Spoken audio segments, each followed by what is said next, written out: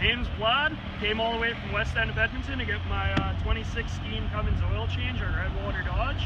I uh, got a free mug and just overall a great experience.